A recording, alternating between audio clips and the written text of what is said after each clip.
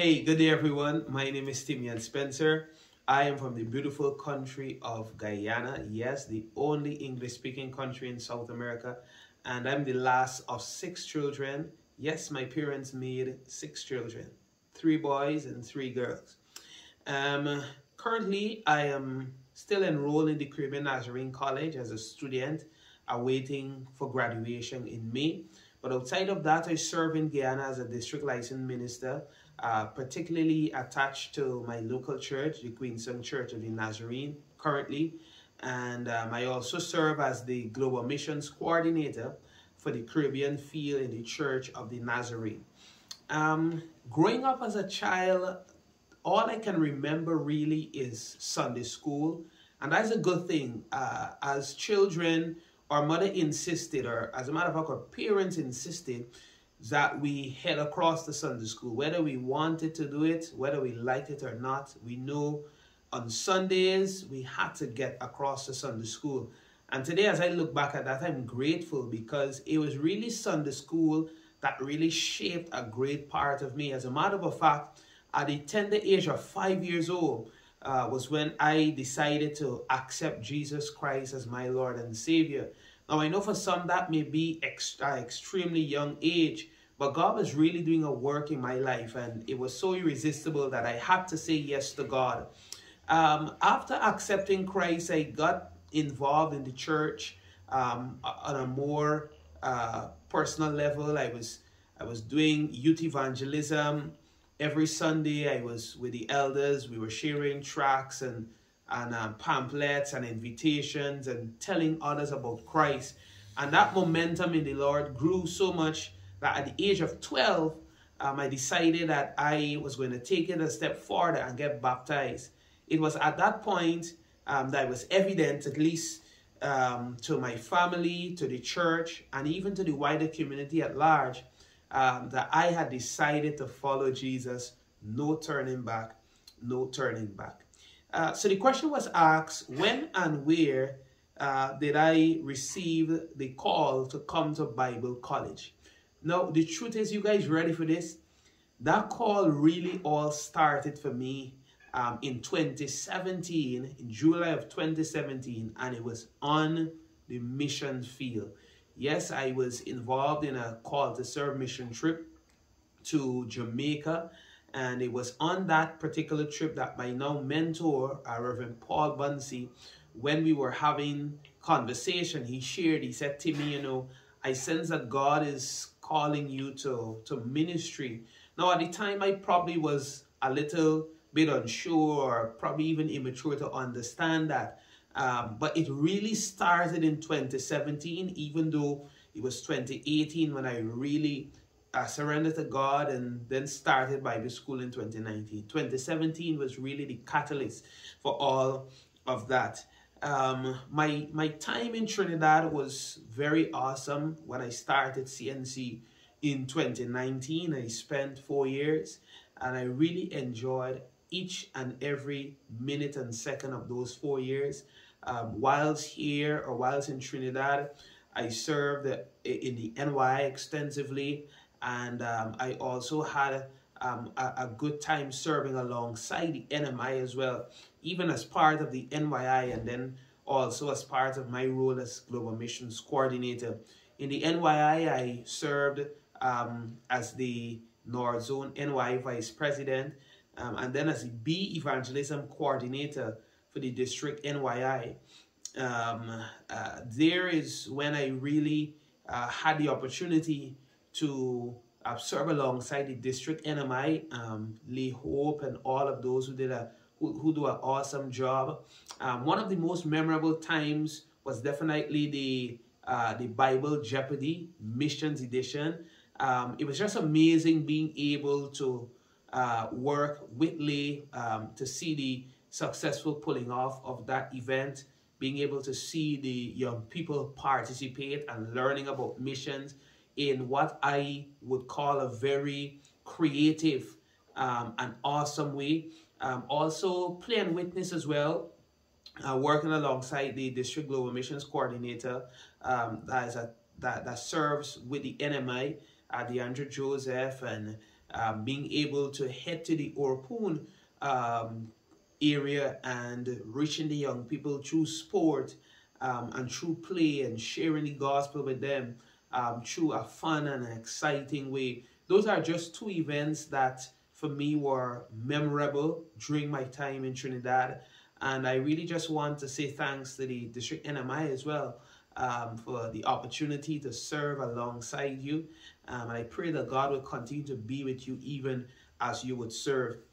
Um, the, the other question that was asked is what got me interested in missions um, and my global missions assignment. Well, as I shared with you, the, the call to ministry started in Jamaica, as well as the interest for missions start in, in Jamaica. Before going to Jamaica, I had a misconception and misperception of missions. Um, and maybe maybe many others had that mis misconception. I saw missions as a boring thing. You just go in the hot sun and you share out invitations and tracks. And so I stayed as far as I can from mission trips. But I, I thankfully God nudged me to go on that mission trip in Jamaica. And it was in that mission trip or on that mission trip that God really changed my mind and my heart for missions. We had a fantastic time. We were in what uh, was known to be the most dangerous neighborhood in Jamaica where nobody wanted to go just because of the crime rates. But after a week there, just to be able to see the impact of the gospel, um, it was indeed a moment to stand up and boast that we definitely serve an indestructible God. So it was that that really got me passionate um, about missions. And um, fr from, from that moment, I was involved in a very active way. And God was doing what he was doing because I, I never really envisioned one day that I was going to be the global missions coordinator. Um, but God saw my passion. He saw my um, my faithfulness, my vigor, just my interest in missions and mobilizing individuals and sharing with them about missions and wanting to come on mission trips. Um, that he saw that and he said, you know, maybe this is the right person or this is the person that I want to lead this ministry. And so that is what got me involved in global missions. Um, and I can say since I've been serving, it has been a fantastic time. Um, I've enjoyed every part of it, being able to visit different countries, train persons um, uh, in the CCO, um, connect with churches, lead mission teams. Last year, we had a fantastic time in St. Lucia. Uh, and so that is where it all, it all took place um, for me. As I shared earlier, my present assignment in Guyana um, remains as a district licensed uh, minister until I start pastoring, uh, which will be in the near future. But outside of that, I also serve um, on my district as evangelism coordinator as well.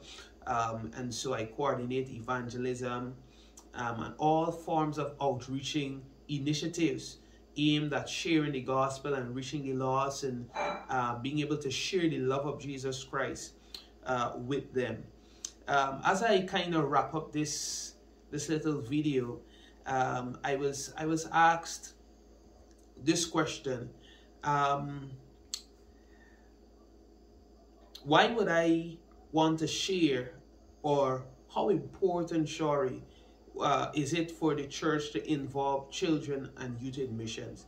Now, I love this question because for me, I started missions as a youth. Um, and even as a child, being involved in evangelism, there were some missional components there as well. Um, I think is important because uh, it helps first and foremost to build passion um, and to even uh, facilitate a call that a young person may have. But on a another level as well, I think is important because the, the Word of God instructs us and it shows us all over the Bible that God would have used young men and women to accomplish His purpose, His will. Um, he would have used them to do things um, that would have been mighty in the Word of God. And if you really look at some of those things, those assignments were missional in nature. Recently, I attended a globe, uh, a regional conference in Panama called Max 2022. And the emphasis for the region moving forward, at least up until 2030, is children, youth, and the city. Um, and when asked or questioned why children, youth, uh, because they shared that that that the children and the youth are critical in today's society. And if it is that we don't involve them, then we're gonna we're gonna lose them. And so I think it's critically important to involve children and youth. Um, I also want to kind of burst the bubble that children and young people may not be ready for missions. Missions is not a big people or old people thing. Um, it is something that God can use the smallest child, just as He used um, King Joash, and He can use any teenager, just as He used um, Samuel and David and all of these other individuals.